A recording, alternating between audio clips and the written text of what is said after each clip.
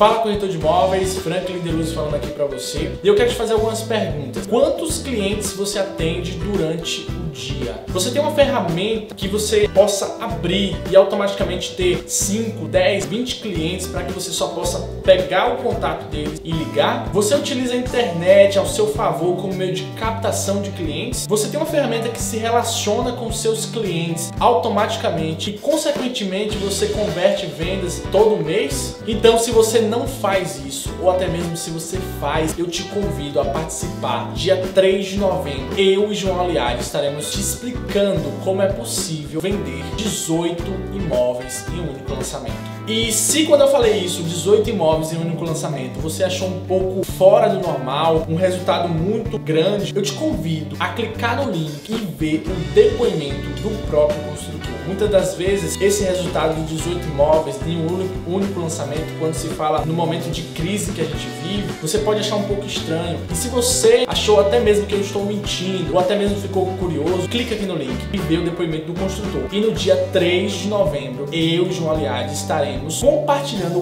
passo a passo, gratuitamente, de como você consegue alcançar esse resultado. Esse é o meu objetivo dentro do mercado imobiliário. Então eu te vejo dia 3 de novembro. Um abraço e até o próximo vídeo.